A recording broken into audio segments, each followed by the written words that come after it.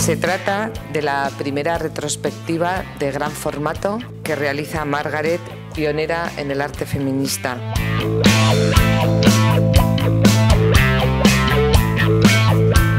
La generación de la madre de Margaret Harrison consiguió el voto para las mujeres, es la generación de Margaret Harrison la que hizo posible que tan solo hace 50 años las mujeres se incorporaran por primera vez de forma masiva y a partir de entonces continua en el campo del arte.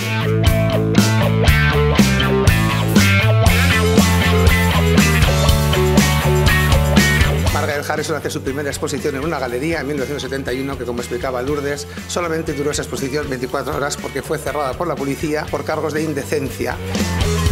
because there was a lot of people banging on the door of the, our little apartment, and one guy broke a window. And he said, if they don't devalue the pound tomorrow, you're going to be on the front of all the newspapers, including the Daily Mirror and the Daily Mail. And I thought, oh, I think I'm going to be sick.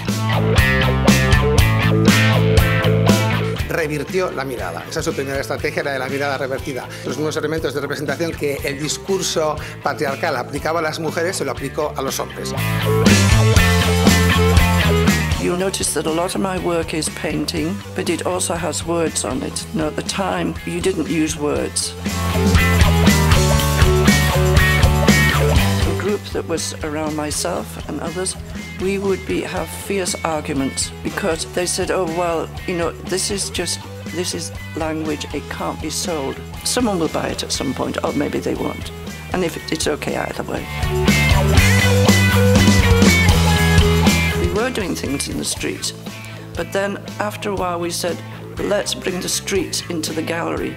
Everybody was saying, well, why are you doing that? It's not sort of free. And we said, no, but actually the people in the galleries need to know what we're doing and what we're talking about.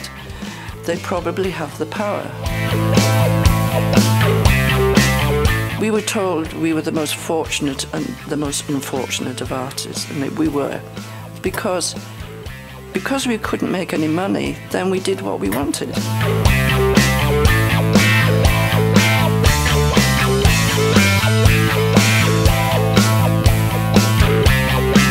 Not the hero of my work. The hero of the work are other people.